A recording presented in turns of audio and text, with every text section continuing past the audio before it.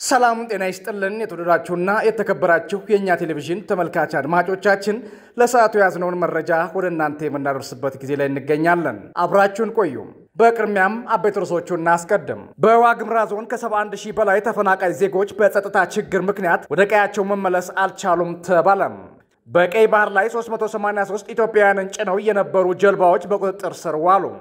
በቤተ ክርስቲያን ወቅታዊ ጉዳይ ውዝግቡ ቀጥሏልም ተባለ። በፌዴራል መንግስትና በህወሓት መካከል አስቸኳይ የፖለቲካ ውይይት ያስፈልጋል ተባለ። 36ኛው የአፍሪካ ህብረት ዓመታዊ ጉባኤ ነገ በስራ አስፈጻሚዎች ስብሰባ እንደሚጀምርም የውጭ ጉዳይ ሚኒስቴር አስታውቋል። እነዚህንና ሌሎች ዝርዝር መረጃዎችን ወደ እናንተ የምናደርስ ይሆናል። አብራችሁን ቆዩ። በዋግምራ ዞን ከ71 ሺህ በላይ ተፈናቃይ ዜጎች በጸጥታ ችግር ምክንያት ወደ ቀያቸው መመለስ አልቻሉም ተባለ። በሰሜኑ ጦርነት ምክንያት ከቤት ንብረታቸው የተፈናቀሉ በአማራ ክልል ሰሜን ወሎ ዋግምራ ዞን በጻገብጅና በበርገሌ ወረዳ ከ71 ሺህ በላይ ዜጎች ወደ ቀያቸው መመለስ እንዳልቻሉ የወረዳ አስተዳዳሪው አስታውቋል። የአበርገሌ የባጽቀብጂ ወረዳ አስተዳዳሪዎች እንደገለጹት በጸጥታና በምግብ ዋስትና ችግር ከ71 ሺህ በላይ የሚሆኑ ዜጎች ለከፍተኛ ችግር ተዳርገዋል ተደርጓልም ተብሏል። የአበርገሌ ወረዳ ዋና አስተዳዳሪ አቶ አለሙ ክፍሌም የእርዳታ እጥረት እንዳለ ገልጸው በተጨማሪ አካባቢው በህወሓት ታጣቂዎች የተያዙ በመሆናቸው ዜጎች ወደ ቀያቸው መመለስ አልቻሉም ነው ያሉት። የጻፍ ገጂ ወረዳ ዋና አስተዳዳሪ አቶ ንጉሱ ደሳለኝ በበኩላቸው በመንግስት በኩል የሚደረገው እርዳታ በቂ እንዳልሆነም ተናግረዋል። በፌዴራል መንግስትና በህወሓት መካከል የሰላም ስምምነት የተደረገ ቢሆንም ታጣቂዎቹም እስካሁን ሁለቱን ወረዳዎች ለቀው እንዳልወጡም የወረዳዎቹ አስተዳዳሪዎች ተናግረዋል። ይህ ደግሞ ዜጎችን ቀያቸው ለመመለስ አዳጋች አድርጎታል ሲሉም ተናግረዋል። በዚህ ምክንያት ባለፈው ሳምንት ዞኑ ጻፍ ጎጆ ወረዳ በወረዳው ታጣቂዎችና በህወሓት ኃይሎች መካከል ግጭት መከሰቱንም ተሰምቷል ተብሏል። የወረዳው አስተዳዳሪ አቶ ንጉሱ ደሳለኝ በጉዳዩ ላይ በሰጡት ቃለ ምልልስ ዜጎችን ወደ ቀያቸው ለመመለስ ሙከራ ሲደረግ ችግሩ እንደተከሰተም ተናግረዋልም ተብሏል።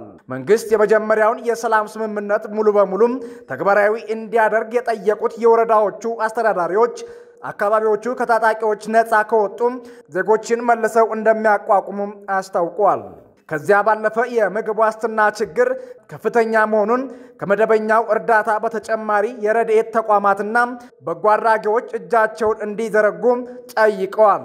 አሁን ላይ በዋግምራ ዞን አበርገሌና ጻብገጂ ወረዳዎች በጦርነቱ ምክንያት የተፈናቀሉ ከሁለት ዓመት በላይ የሆናቸው ከ71 ሺህ በላይ ዜጎች በሰቆጣ ከተማም ተጠልለው እንደሚገኙም አብራርተዋል። በቀይ ባህር ላይ 383 ኢትዮጵያውያንን ጭነው የነበሩ ጀልባዎች በቁጥጥር ስር ዋሉ። ባሳለፍነው ሳምንት 383 ኢትዮጵያውያን ስደተኞችን ጭነው በቀይ ባህር ላይ ወደ የመን ሲጓዙ የነበሩ ጀልባዎች በቁጥጥር ስር መዋላቸውን በጅቡቲ የኢትዮጵያ ኤምባሲ አስታውቋል።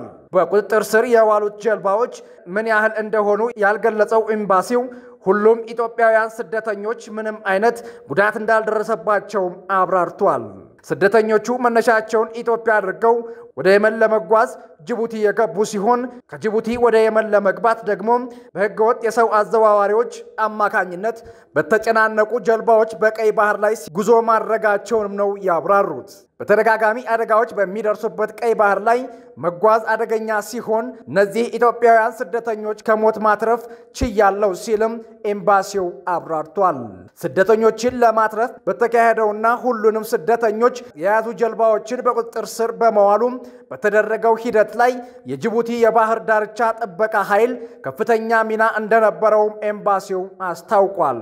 ኢትዮጵያውያን በህገወጥ መንገድ ወደ የመን ለማዘዋወር የሞከሩት አዘዋዋሪዎች በቁጥጥር ስር መዋላቸውንም የተሰማ ሲሆን በአዘዋዋሪዎቹ ላይ ህጋዊ እርምጃ ለመውሰድ በጅቡቲ ፍርድ ቤት ጉዳዩ መያዙን ኤምባሲው አስታውቋል። በተመሳሳይ ሁኔታ በቅርቡ ወደ የመን በማቅናት ላይ የነበሩ 141 ኢትዮጵያውያንን የጫኑ ጀልባዎች መያዛቸውንም መዘገባችን የሚታወስ ሲሆን በአደጋዎች በተሞላው በዚህ ህገወጥ የሰዎች ዝውውር መስመር ላይ ባለፉት ሶስት ዓመታት ብቻ ከጅቡቲ በመነሳት ቀይ ባህር ላይ በማቋረጥ ላይ በነበሩ ስድስት የህገወጥ አዘዋዋሪዎች ጀልባዎች ላይ በደረሱ አደጋዎች ከ118 በላይ ኢትዮጵያውያን ለሞት ተዳርገዋልም ተብሏል። በቤተ ክርስቲያን ወቅታዊ ጉዳይ ውዝግቡ ቀጥሏል ተብሏል። የኢትዮጵያ ኦርቶዶክስ ተዋሕዶ ቤተ ክርስቲያን አንድነት የሚሸረሽር ድርጊት ነው የተባለው የሕገወጥ ኤጲስቆጶሳት ሹመት ወይም ራሱን የኦሮሞና ብሔረሰቦች ሲኖዶስ ብሎ የተነሳው አካል ያስነሳው ውዝግብ እንደቀጠለ ነው ተብሏል። ጉዳዩ የተካረረ መምጣቱን ተከትሎ መንግስት ከሁለቱም አካላት ጋር ውይይት አድርጎ ችግሩን ውይይቱ እንዲፈታ ሁኔታዎች ማመቻቸቱም ተሰምቷል። የቤተ ክርስቲያኗ ቅዱስ ሲኖዶስ የካቲት 3 2015 ዓ ም ከመንግስት ጋር ባደረገው ውይይት በእስር ላይ ያሉ ካህናትና ምዕመናንም በአስቸኳይ እንዲለቀቁ ከመንግስት ጋር ስምምነት ላይ እንደደረሰ ማስታወሱ የሚታወቅ ሲሆን ካህናትም አገልግሎታቸውን በነፃነት መስጠት እንዲችሉም ስምምነት ላይ መደረሱም ተነግሯል። ይሁን እንጂ ከስምምነቱ በፊት የታሰሩ ሰዎች መፈታት ሲጠበቅ እስርና ወከባው በአስቸኳይ እንዲቆም ስምምነት ላይ ተደርሷል ከተባለ በኋላም ታዋቂ የቤተ ክርስቲያን መምህራን ታስረዋልም ተብሏል። ይህ ሁኔታ መንግስት የቤተ ክርስቲያን ጥያቄ ተቀብሎም ተግባራዊ ለማድረግ የገባው ቃል እንደ መሻር የሚያዩት አካላት ተፈጥረዋልም ተብሏል። በስምምነቱ መሰረት መንግስት የቤተ ክርስቲያኗን አንድነትና ቀኖናም እንደ ማክበርና በቤተ ክርስቲያኗ ላይ የሚፈጸሙ ህገወጥ ድርጊቶችን እንዲያቆም ሙሉ በሙሉ ስምምነት ተደርሷልም ተብሏል። ራሱን የኦሮሞና ብሔረሰቦች ቅዱስ ሲኖዶስ ብሎ የጠራው አካል ከጠቅላይ ሚኒስትር አብይ አህመድ ጋር የተደረገውን ውይይት አስመልክቶ በሰጠው ጋዜጣዊ መግለጫ የተቀየረ አቋም እንደሌለ አስታውቋል። በየትኛውም መንገድ ለእርቅ ዝግጁ ብንሆንም በያዝናቸው አገረ ስብከቶችና በሾንኳቸው ኤጲስቆጶሳት አልደራደርም ብሏል። በአንጻሩ ከጠቅላይ ሚኒስትር ጋር የተወያየው የኢትዮጵያ ኦርቶዶክስ ተዋሕዶ ቤተ ክርስቲያን ቅዱስ ሲኖዶስ ከመንግስት ጋር ባደረገው ውይይት የቤተ ክርስቲያኗን አንድነት፣ ቀኖና፣ ህገ ቤተ ክርስቲያን አስተዳደራዊ መዋቅር ሙሉ በሙሉ እንዲከበር ስምምነት ላይ መደረሱም አስታውሷል።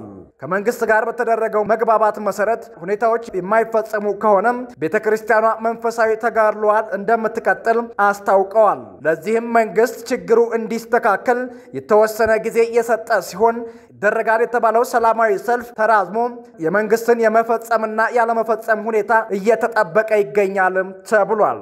በፌዴራል መንግስትና በህወሓት መካከል አስቸኳይ የፖለቲካ ውይይት ያስፈልጋል ተባለም። የአፍሪካ ህብረት የሰላም ጥምረት ኮሚቴ በፌዴራል መንግስትና በህወሓት መካከል በተፈጠረው የሰላም ስምምነት አተገባበር ዙሪያ ባካሄደው የመጀመሪያ ስብሰባም በሁለቱ ወገኖች መካከል አስቸኳይ ፖለቲካ ውይይት እንደሚያስፈልግም አስታውቋል። የፖለቲካ ውይይት የሚታዩ ችግሮችን ለመፍታት ሁነኛ አስተዋጽኦ ይኖረዋል የተባለው ሲሆን የአፍሪካ ህብረት የሰላም ስምምነት አፈጻጸም ለመከታተል ላቋቋመው የክትትል ማረጋገጫና ተገዥነት ቡድን አካባቢያዊ ሽፋን ለማድረግ ለመደገፍና ለማጎልበት ያግዛል ተብሏል። በቅርቡ ጠቅላይ ሚኒስትር አብይ አህመድ በህወሓት ቃል አቀባይና ዋና ተደራዳሪ ጌታቸው ረዳ ከተመራው የህወሓት ልኳን ጋር መወያየታቸው የሚታወስ ሲሆን አሁን ይደረግ የተባለው የፖለቲካ ውይይት በምን አይነት ሁኔታ መካሄድ እንዳለበትም ኮሚቴው አላስታወቀም ተብሏል። በአፍሪካ ህብረት የፖለቲካ ጉዳዮች የሰላምና ደህንነት ኮሚሽን አምባሳደር ባርኮን ኤዲዮም የሚመራው ጥምረት ኮሚቴ በግጭት ውስጥ ያሉ አካላት እና የምስራቅ አፍሪካ የልማት በይነ መንግስታት ባለስልጣን ኢጋድ ተወካዮች ያካተተ መሆኑም ተነግሯል። ኮሚቴው በሁለቱ ወገኖች መካከል የተደረገው የሰላም ሂደት አዎንታዊ እምርታን እንዳመጣ አረጋግጫለሁ ያለ ሲሆን በተለይም አስፈላጊ አገልግሎቶችን ወደ ነበረበት መመለስ፣ የባንክ፣ የቴሌኮሙኒኬሽን፣ የሕክምናና ሰብአዊ ድጋፍ ተደራሽ ማድረግ መቻሉንም አስታውቋል። ኮሚቴው በትግራይ ክልል የየብስ ትራንስፖርት፣ የትምህርት ቤቶችና ሌሎች የትምህርት ተቋማት በፍጥነት እንዲከፈቱ ጥሪ አቅርቧል። ኮሚቴው ለሰላም ስምምነቱ ተፈጻሚነት በአስቸኳይ ይደረጋል ካለው የፖለቲካ ውይይት በተጨማሪም ባለድርሻ ያላቸውን አካላት ሚናቸውን እንዲወጡ ጥሪ አቅርቧል። የአፍሪካ ህብረት ዓመታዊ ጉባኤ ነገ በስራ አስፈጻሚዎች ስብስብ ይጀምራል ተብሏል። 36ኛው የአፍሪካ ህብረት ዓመታዊ ጉባኤ ነገ በስራ አስፈጻሚዎች ስብሰባ እንደሚጀመር የውጭ ጉዳይ ሚኒስቴር አስታውቋል። የውጭ ጉዳይ ሚኒስቴር ቃል አቀባይ አምባሳደር መለሰ ዓለም ዛሬ በሰጡት ጋዜጣዊ መግለጫ በስብሰባው ኢትዮጵያ በምክትል ጠቅላይ ሚኒስትርና በውጭ ጉዳይ ሚኒስትር ደመቀ መኮንን በተመራ ልዑክ ትሳተፋለችም ተብሏል። በዚህ ስብሰባ ከ51 ሀገር የተውጣጡ የልዑካን ቡድኖች ይሳተፋሉ ተብሎ ይጠበቃል። ነገ ከሚጀመረው 42ኛው የስራ አስፈጻሚዎች ስብሰባ አስቀድሞ በቋሚ መልእክተኞች ደረጃ ውይይቶች መጀመራቸውን አምባሳደር መለስ ዓለም አንስተዋል። ለሰዓቱ የያዝናቸው መረጃዎች እነዚህ ነበሩ። አብራችሁን ስለቆያቸው እናመሰግናለን። መልካም ቀን